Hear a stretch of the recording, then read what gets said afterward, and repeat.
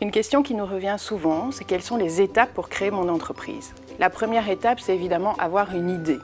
N'oubliez pas non plus que cette idée doit correspondre à un besoin. N'hésitez pas à parler de votre idée, à parler de votre idée à votre entourage et à d'autres entrepreneurs. Parlez également de votre idée à votre futur groupe cible de manière à tester cette idée et à voir si elle sera monétisable. Deuxièmement, réfléchissez à la forme juridique que vous allez choisir pour votre entreprise. Est-ce que vous allez démarrer en personne physique ou est-ce que vous allez créer une société? N'hésitez pas à demander conseil. Ce choix est important, il aura des conséquences fiscales et sociales.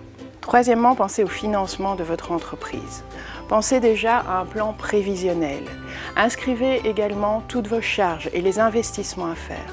Il y a plusieurs possibilités de financement. Il y a également possibilité d'obtenir des aides et subsides. Renseignez-vous. Quatrièmement, c'est la partie la plus rébarbative, les formalités administratives. Si vous lancez en tant que personne physique, c'est assez simple. Vous devez vous présenter auprès d'un guichet d'entreprise pour obtenir votre numéro d'entreprise et activer la TVA.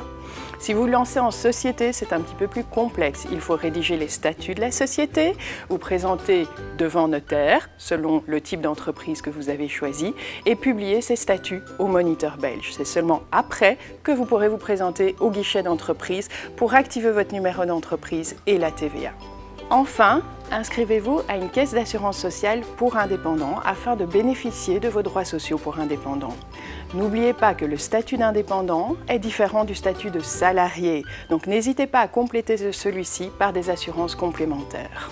N'hésitez pas à télécharger votre propre plan d'action sur le site www.jelancemaboîte.be.